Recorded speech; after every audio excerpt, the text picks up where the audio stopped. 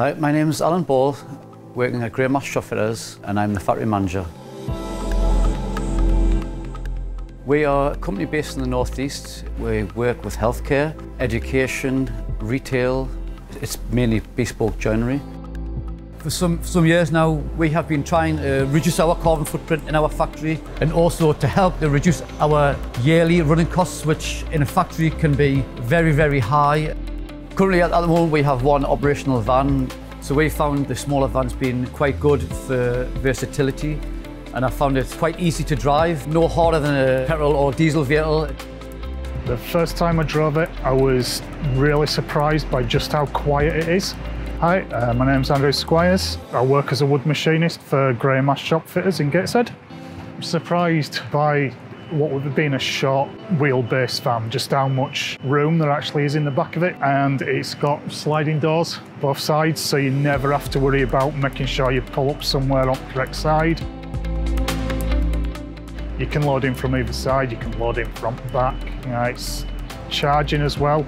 It seems to charge relatively quickly. The, the range in these vehicles are greater. Long distance is more achievable. It's privilege really for Toyota to come and ask us to drive this demonstrator vehicle. And this van has never let us down. And this is it's a quality brand van. Our class is a high mark uh, vehicle. We rely on the, the vehicle we have because we cannot afford for this vehicle to break down. Feel safe in knowledge that if you go out in a Toyota, especially newer ones, that you're not going to get a nasty surprise and it's not going to break down halfway to where you're going. The interior is really nice. It's a rather nice feature where the middle seat folds down and creates like a little workspace, a little table.